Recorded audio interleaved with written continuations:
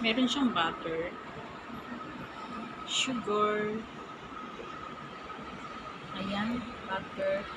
Lagyan ko siya ng ano. Alright.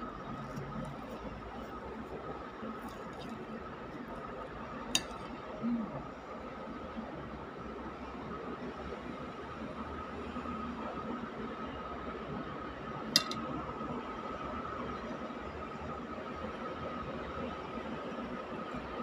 just you.